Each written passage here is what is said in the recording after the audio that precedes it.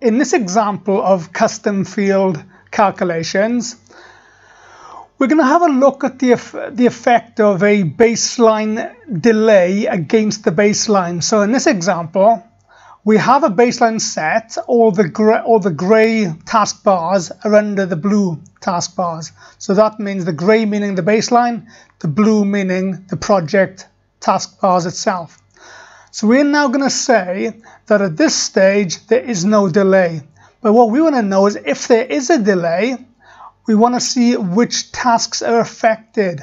And if the task is affected, we want a, that to be highlighted with a red ball, otherwise leave it white. So for example, if I were to change task 1 from the start and task 1 was delayed, that would mean every task would be delayed. So, so everything would go red from the start. But if I was halfway through my project or a third of, my, third of the way through my project and say I was on, um, for example, first interview. Now say the first interview was delayed by 10 days because a room wasn't available or someone was off sick. Let's now pretend what we think would happen in this case. Well, in this case, if that was the case, everything above first interview would remain white, but then from first interview onwards, you see a little red dot. So that's the way I'm going to approach the example of custom field calculations in this particular example. So let's have a go at it. So again, project tab, custom fields. I'm going to do another text calculation here because I want a yes or no answer to come from it. So anything where you want text, use a text field. So text. On this one, I'm going to call, and I'm going to name it and call it delayed task start date.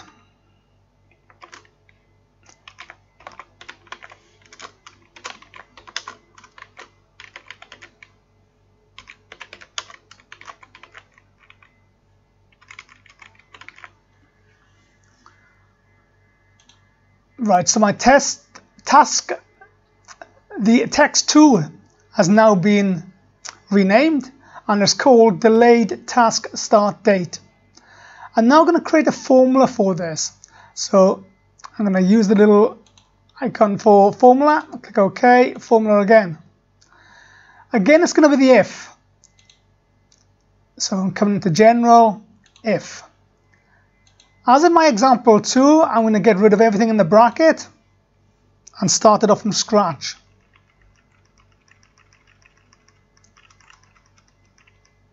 So in this example, under the field, I'm using dates. So I'm asking if the start date is greater than, so arrow to the right, and I'm going to use another date and that's going to be baseline start. So what this is saying so far is if the start date is greater than the baseline start, now what do I want to happen? So comma means if it's true, what do I want to do? Well, I want the word yes. And if the start date is not greater than the baseline start, then I want the word no. And that now will allow me to use red and white indicators to tell me whether a task has been delayed. So the formula has been set up. I'm going to click OK. And once more. Now I'm going to use my indicators. So under graphical indicators, I'm going to say if it equals yes, which we put in the formula. I say that's going to be a red ball. If it equals no,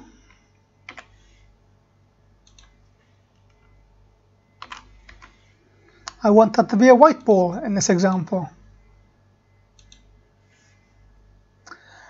So the formula setup, the graphical indicator setup. Click OK. And there I can see delayed task start date, is set up ready to be used. And I'm going to click OK. Right, now I'm going to insert the custom field. So I want it to come right before my start date. So I'm going to click on start date. I'm going to right click. I'm going to choose insert column. Now I'm going to look for my text two.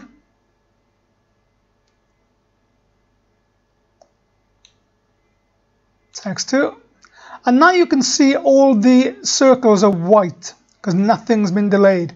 So this is saying they're all okay, nothing's been delayed, they're fine. Now if I happen to make a change from the top, everything's going to go red. So now I'll just come halfway down the list or three quarters way down the list just to show you what, what will happen if I change a task that's not at the top. So let's pick on first interview. So first interview is due to start on the 5th of January, so 5th of July 2017. I'm now going to apply a constraint to delay this.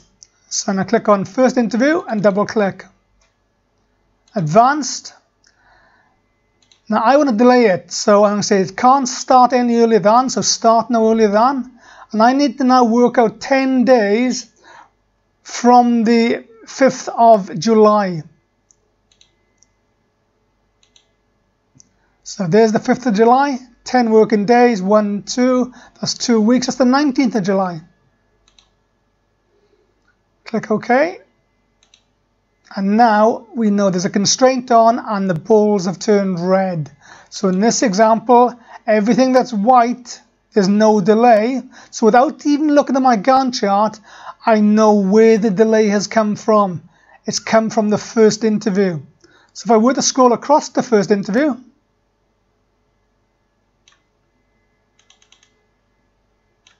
I can now see the delay maps to my red balls.